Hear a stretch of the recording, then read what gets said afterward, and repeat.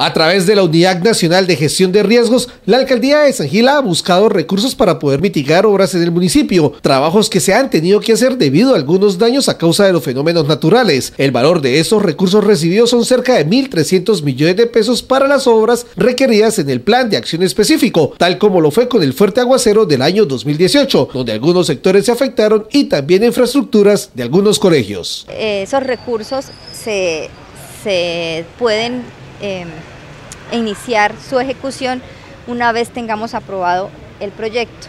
Como estos recursos vienen por regalías, debemos cumplir con una serie de requisitos y estos requisitos, uno de ellos es la aprobación por parte del Departamento Nacional de Planeación de nuestro proyecto.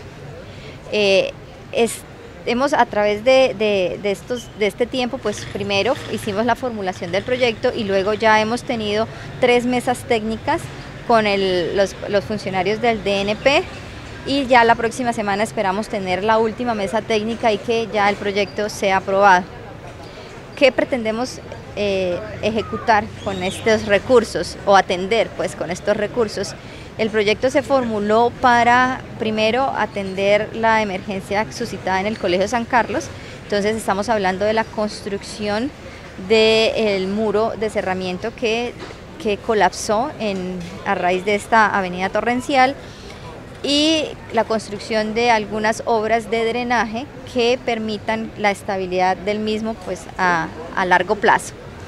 También vamos a atender una y estabilizar un talud en el barrio Rojas Pinilla, también que se, vio, se ha visto afectado por socavamientos debido a la sobresaturación del suelo.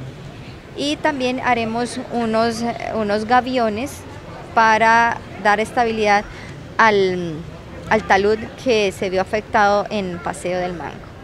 Eh, además de esto, también obviamente debemos incluir la interventoría, que es un requisito que, nos exigen en DNP también. Entonces, digamos que las obras principales a atender serían estas. Se espera que para el próximo encuentro de la mesa técnica se dé la fecha para iniciar con estas labores. Igual ya tenemos todo listo para que para volver a, llevar el proyecto con las observaciones que nos hicieron en la última mesa técnica.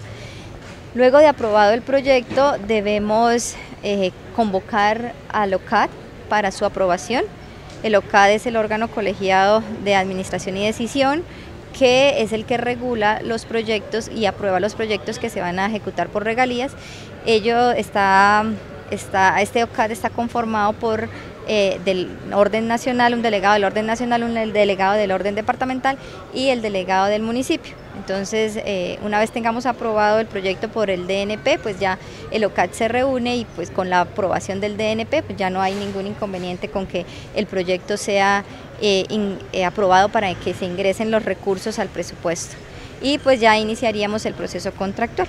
Este proyecto se tiene calculado realizarse en aproximadamente tres meses, los cuales ya le correspondería al siguiente periodo administrativo. Pero obviamente pues estamos a un mes de terminar la administración, pero es, es, una, es, una, es un proyecto pues que nació en esta administración y pues queremos que también dejarlo por lo menos eh, contratado.